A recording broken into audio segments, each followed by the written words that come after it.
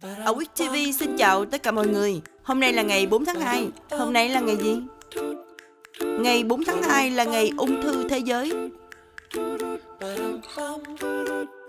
Ngày sinh của ai? Ngày 4 tháng 2 năm 1883 là ngày sinh của Reinhold Rudenberg. Ông là nhà phát minh người Mỹ gốc Đức và là nhà tiên phong về kính hiển vi điện tử. Nhà soạn nhạc người Nhật Bản Kitaro, ông sinh ngày 4 tháng 2 năm 1953. Cũng vào ngày này năm 1975 là ngày sinh của Natalie Imbruglia.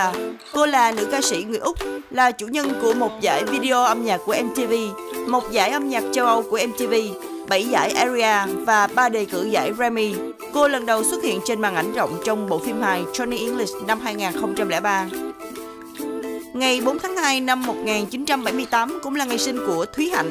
Cô được biết đến với vai trò là siêu mẫu, người dẫn chương trình, giám đốc chuyên môn cho công ty người mẫu Elite, đồng thời còn là giám khảo của chương trình Việt Nam Got Talent.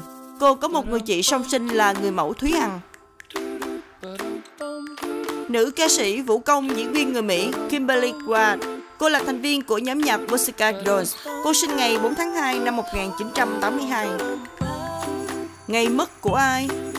Ngày 4 tháng 2 năm 1894 là ngày mất của Adolphe Sax.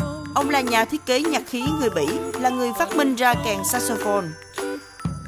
Nhà báo, nhà thơ Nguyễn Vĩ, ông qua đời vào ngày 4 tháng 2 năm 1971.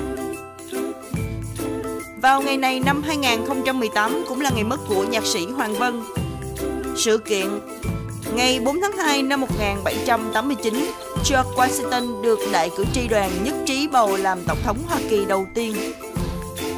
Nước Cộng hòa Liên bang Nam Tư được chính thức đổi tên thành Serbia và Montenegro và thông qua bản hiến pháp mới vào ngày 4 tháng 2 năm 2003. Vào ngày này năm 2004 là ngày mạng xã hội Facebook được Mark Zuckerberg thành lập. Xin chào tạm biệt mọi người, hẹn gặp lại mọi người vào chương trình kỳ sau.